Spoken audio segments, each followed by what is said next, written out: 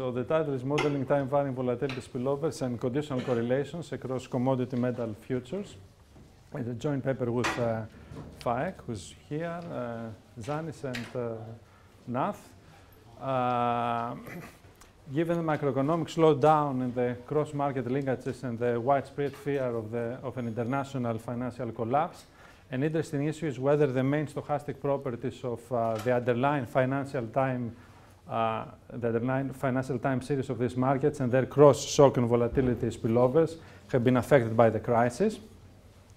And in our previous paper, we find a time-varying pattern in the persistence of the volatility of the stock market returns, as well as uh, their correlations and cross-shock and volatility spillovers uh, during the, the period. Uh, the aforementioned impact in relation to the commodity future markets has drawn less attention. There is a study by Vivian and Wohar and uh, Vivian and Sensoy in 2013. Uh, they have examined the impact of the recent crisis on the volatility of the commodity returns, even though they consider spot price data. And such studies have some limitations. For example, they ignore the impact of the crisis on the cross-shock and volatility spillovers between the corresponding returns. Uh, in this paper, we consider two metal futures, copper and gold. Uh, and these metal futures are considered due to their sheer daily volumes. Uh, for example, gold is the main precious metal and has mixed demand characteristics. Uh, copper, on the other hand, is the main industrial metal with huge applications in electronics and mainly in wiring. Uh, and we make uh, use of several uh, modern econometric approaches for univariate and multivariate time series modeling which we also condition on the possibility of breaks in the volatility dynamics taking place in the returns of these metal futures. And we also use a battery of tests to identify the number and estimate the timing of the breaks, both in the mean and the volatility dynamics. Then we use these breaks uh, first in a univariate context by adopting an asymmetric uh, GARCH model to determine changes in the persistence of the volatility and then in the multivariate context by employing the recently developed what we call unrestricted extended dynamic conditional correlation uh, model uh, to analyze the volatility transmission and the correlation uh, structure. We also examine how the persistence of volatility of the two considered returns is affected by the corresponding positive uh, and negative returns. So on the one hand, we put dummies for breaks that they are related to the various financial crises. On the other hand, we put uh, dummies for positive and negative returns to discriminate between positive and negative returns. Uh, we also investigate the regime-dependent volatility spillovers between these uh, metal futures returns uh, to discern shock and volatility spillovers associated with exact movements of each metal futures, either upwards or downwards, uh, to the other and vice versa. Uh, it is also important to consider the manipulation that we have done in the data uh, the unmapped data is comprised of prices that have not adjusted for differences in prices due to rollover or uh, basis. Uh, so what we do also manipulate the data and we use what we call the mapped data, which allows us to observe the true interaction between the commodities. Uh, so taking into account the roll or basis, alter the time series in such a way that econometric models best fit may change as a result. And the use of the front month contract prices indicates the time series as it would appear to a trader at the particular point in time. The difference between mapped and unmapped may be large or small and sometimes cancel each other.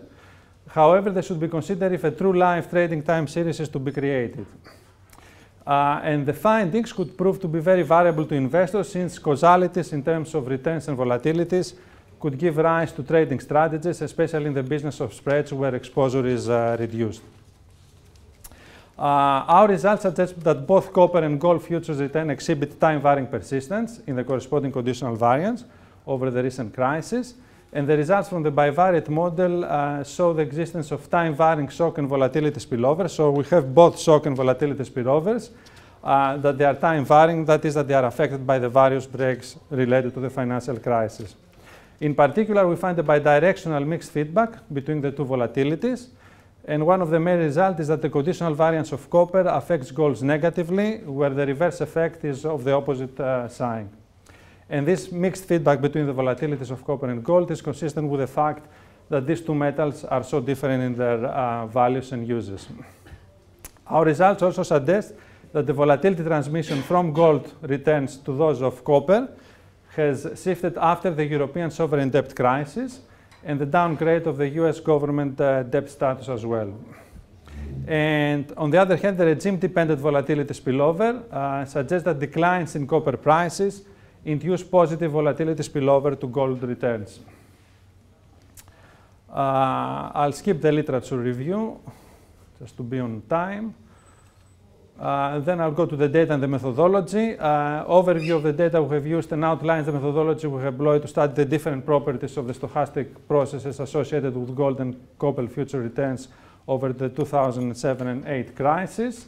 Uh, so I will provide a few uh, brief description of the data. We use, as I said, both mapped and unmapped data on gold and copper future prices, which span from 2007 up to 2012.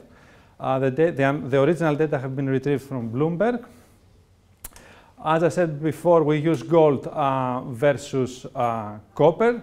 The use of gold, for example, to hedge currencies has become increasingly popular lately, which adds yet another demand dynamic to its already complex demand characteristics.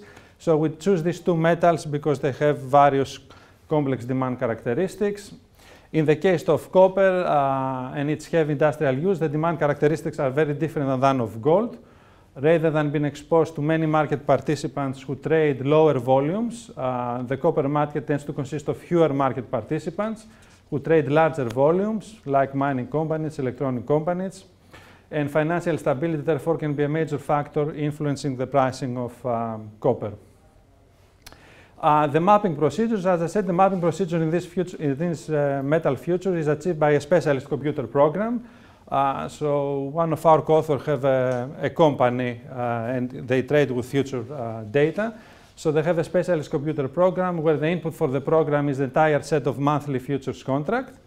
Then the program takes the last expiry price of each contract and lines it up by date to the price of the second month contract. As the program uses a counter for both the price series and the date series, mapping occurs when the counters match on the day before the expiry. Then the front and the second month prices on that date are then lined up and their difference gives the basis or rollover for that contract. And each roll value or base value is stored and then accumulated in order for the calculation of the cumulative roll of bases. Then we have another paper where we provide more details of this uh, mapping procedure. We use continuously compounded returns. Uh, then uh, regarding the structural breaks, since the employee data span includes various economic and financial events causing behavioral changes due to confidence alterations in the economies as a result of the financial crisis, the considered return series are likely to contain breaks associated with such um, events. And some examples is the collapse of the Lehman Brothers, the collapse and buyout of the Bear Stearns and the ING, increased unemployment, quantitative easing, uh, and many more to account for the possibility of breaks either in the mean and or the volatility, we use a set of parametric and non-parametric data-driven methods to identify the number of uh, breaks. Uh, we either use the Bai and Perron methodology, the Lavielle and Moulines, and we also use a two-stage semi-parametric uh, nominated awarding procedure of uh, Karoglou. So we use two, three alternative methods to identify the, uh, the breaks. From applying these procedures on both gold and copper future returns and their volatilities, we find four breaks during the sample period, uh, which is roughly one every one and a half year on average.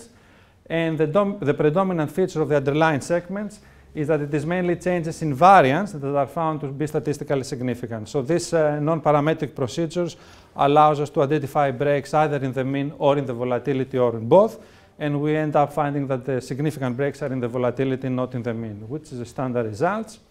Uh, and we also find that all four break dates for the two series are very close to one another for some uh, reason, which apparently signifies the economic events with a global uh, impact. Uh, overall events such as the Trouble Asset Relief Program uh, in the USA, the Capital Purchase Program by the US Treasury Department, the European sovereign debt crisis and the downgrade of the US uh, sovereign debt have been associated with such breaks. Uh, so we have the first break in uh, July 2008 uh, for uh, gold. And for copper, we have it a little bit later in September 2008. So for some reason, the breaks in copper are uh, a few months after the break in gold. The second break is in March and June 2009, respectively, for gold and copper. And then we have two more breaks for gold in June and August 2011, and a little bit later on for September and November 2011 for copper. Uh, so these are the breaks. Uh, so for some reason, the breaks in uh, copper takes place uh, two, three months uh, after the break in uh, gold. Once we have identified the breaks, what we do in the first state, we estimate a univariate model because we want to see the, the impact of this in the persistence of volatility. So what do we do? We estimate an asymmetric GARCH11 model we, where we add dummy variables uh, uh, for these four breaks, and we add dummy variables not only the constant, that is a standard uh, thing in the literature, but we also add dummy variables in the arch coefficient, uh, in the GARCH coefficient, and also in the asymmetry uh, coefficient. So we add these four variables and then we keep the variables that they are uh, significant. We use quasi-maximum likelihood estimator. So the models appear to be well defined. Uh, now, in our previous paper, we found that small rolls or bases prove to yield similar time series for mapped and unmapped data sets. The difference in the results may be due to the explanation expressed in this paper, whereby small compensations required over time to map data sets and can accumulate to and result in large cumulative changes in the time series. The unmapped data are likely to include, uh, as we said before, artificial price jumps when contract rollover occurs, which are of course reflected in the returns. Uh, and furthermore, while copper returns are sought to exhibit asymmetric responses, uh, regardless of using mapped or unmapped data, this is not the case for the gold returns. So these are the results, and we have asymmetries for copper, uh, regardless of whether we use mapped or unmapped data, but we don't have asymmetries uh, for uh, gold. As far as the impact of the break is concerned, the results suggest that the unconditional variance for both type of metals is not significantly affected by the breaks. So we don't find any significant, we don't present here the result, any significant dummy for the constant. Uh, however, the dynamics of the conditional variances, especially the arch and the GARCH parameter, are shown to be time varying, uh, in line with some results from Vivian and Wohar in 2012, where they use spot uh, data instead of um, future data.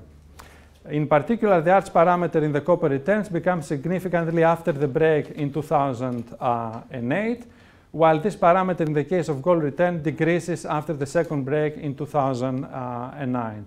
So uh, we have uh, here, for the copper, we have the first dummy significant, so increases, uh, so it becomes significant after the first break. So where for the gold, we have uh, the second dummy significant and negative, so the arch parameter declines after the second break. Uh, with regard to the GARCH parameter, it exhibits time varying patterns across the second break in 2009, the third break in 2011, and the fourth break for copper returns. Uh, so we have the second, the third, and the fourth dummies for the GARCH parameters.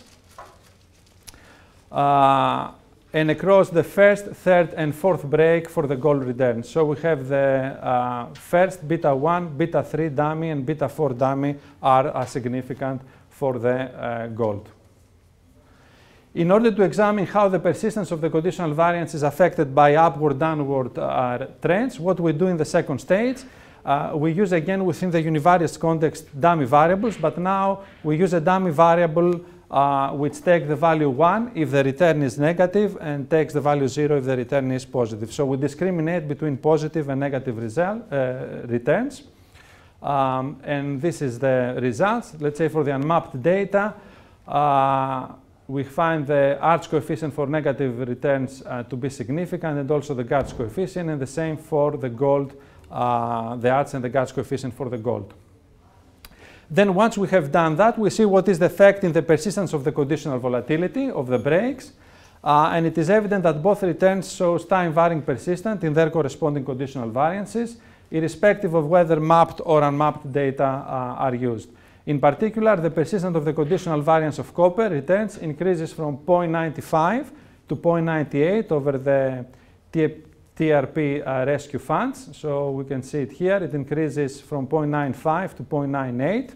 So this is the persistence uh, before the break, uh, after the first break, the second, the third, and the fourth break. And we see that the persistence increases from 0.95 to 0.98 over the TARP rescue funds in the US.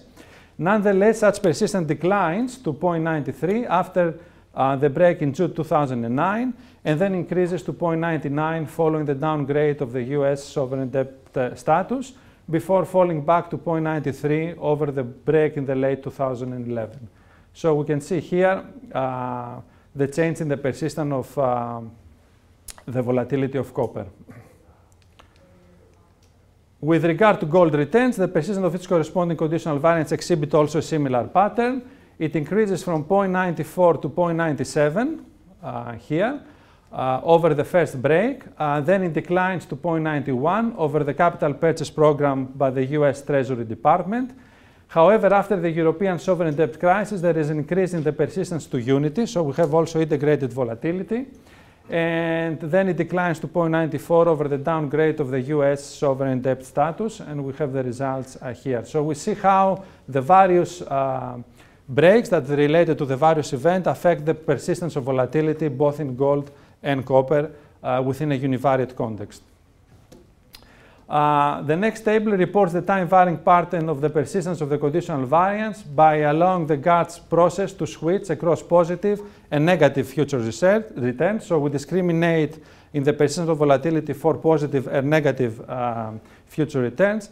And the results suggest uh, that the persistence of the conditional variance originated from negative returns is higher than those of the positive counterparts, especially for gold returns using both mapped and unmapped data.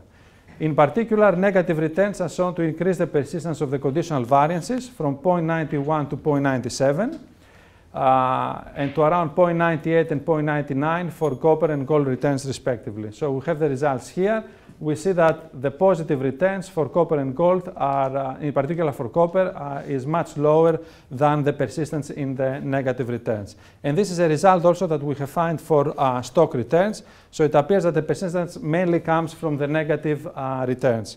In our paper with the stock returns, the difference also was, was much higher. The positive returns had, had no persistence at all. Uh, the same happens for the mapped data. Uh, for positive returns, the persistence is only 0.9, where for negative returns, it goes up to 0.98. Uh, in a broad sense, our results of the time-varying persistence of the conditional volatility corroborates the findings of Watkins and McAleer and Choi and Hammoudeh, who used rolling AR1 GARCH and Markov switching specifications respectively.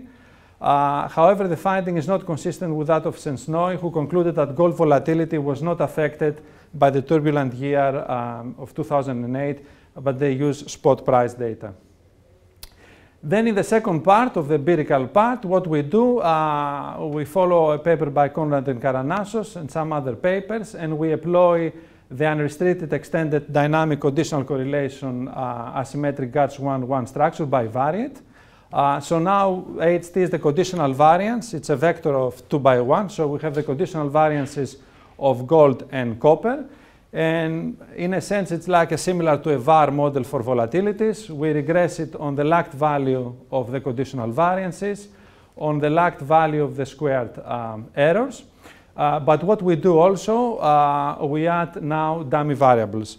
What the literature did initially was to assume that the a and the alpha and the beta uh, matrices were diagonal, so there were no volatility or arch spillovers. So initially the beta matrix uh, was diagonal and there were no volatility spillovers. Then researchers extended this matrix to be uh, full, so they allow for cross effects, so they allow for volatility uh, spillovers, but they restricted the coefficients to be positive because they argue that only if the coefficients are positive, then that will ensure that the conditional variances are positive uh, at all time. But then in a paper that we had with um, uh, Christian, we showed that this uh, needn't be the case. Uh, so we allow for, uh, we saw that these coefficients can be negative and still under co some conditions, the conditional variances will be all the time positive. And we saw that this condition is that two elements in the same column can be negative uh, and still the conditional variances can be positive at all time. And that's why we call this model um, the unrestricted extended conditional correlation model.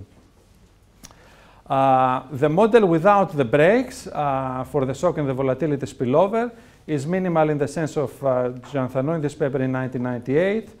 Uh, and as I said before, we provide the conditions for the conditional variances to be uh, positive at all uh, time. And uh, what we do here, we extend this model by adding dummy variables. Uh, in we, I mean, one can add dummy variables everywhere, but we add here in this paper, we concentrate on the spillover effects. So we add dummy variables on the spillover arch effects and dummy variables on the volatility spillover. So we add dummy variables on the cross effects of the A and the beta matrix. Uh, the result that we report in this table provide evidence of strong conditional heteroscedasticity in the two variables, irrespective of whether we use unmapped or mapped data. Copper returns exhibit asymmetric responses, uh, which is, uh, is in line with the univariate results.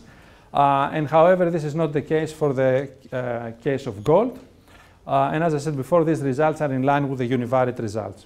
So here are the results for the bivariate. So we see that we have asymmetries um, for the uh, asymmetric responses uh, for the copper, but not for the uh, gold. The results also suggest the existence of bidirectional volatility spillovers between gold and copper returns. Spe specifically, it is shown that volatility of gold returns affect that of copper returns positively. So the beta 1 2 coefficient is positive. Um, and the effect on the opposite uh, direction is uh, negative, so the beta 2-1 coefficient is negative and significant at the 10%. The negative volatility spillovers from copper to gold implies that volatility innovations in copper affect gold, but they have a less persistent effect than the volatility innovations from gold itself, and this is the result that Christian uh, saw in one of his other papers in the bivariate uh, context. So this is the result for the bivariate model. With regard to the impact of the breaks on the volatility transmission uh, structure between the two returns, the results indicate that uh, there are shifts in the volatility spillovers from gold to copper after the third uh, break in uh, 6 2011 and the fourth break on the 8th 2011. So we can see here the beta 1 2 coefficient, uh, the third break and the fourth break, they are significant. Uh, and, these are results are regardless of using mapped or unmapped data. These two shifts correspond to the European sovereign debt crisis and the downgrade of the US government debt status, respectively. So we see that these two events affect uh, the volatility spillovers between these two uh, metals. Uh, in other words, the results suggest that the volatility spillover effect from gold to copper is sensitive to these two structural uh, changes. Uh, in particular, for the mapped returns, this positive impact is weaker in the period after the sovereign debt crisis and before the downgrade of the US government debt status. Uh, and interestingly, for this period, for the unmapped returns, the effect is uh, negative. So we find some differences between mapped and um, unmapped data.